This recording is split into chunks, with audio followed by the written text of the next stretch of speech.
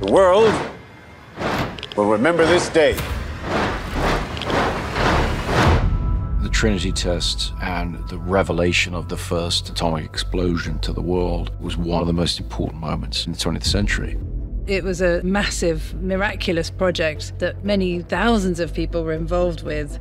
It touched government, it touched science, it had huge ramifications for all sorts of ordinary people.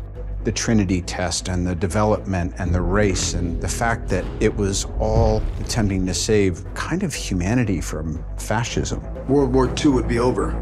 Our boys would come home. This is a matter of life and death. But I can perform this miracle.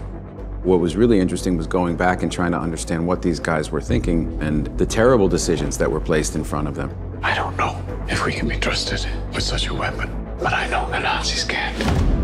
We live in the world that we live in because of what happened at Los Alamos. Why would we go to the middle of nowhere for who knows how long? How about because this is the most important thing to ever happen in the history of the world?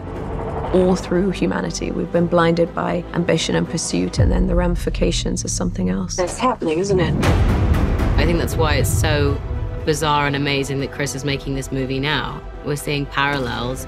It's a profoundly overwhelming experience watching it. It's not a history lesson. It's not telling people this is what you must learn from this, but I think it's very clear it can reflect back on what's happening in the world today.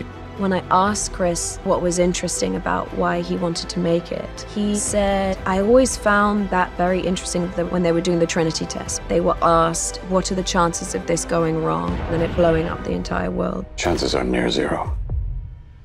Near zero. What do you want from theory alone? Zero would be nice. Detonators charged. What is that decision to just still go ahead and do it?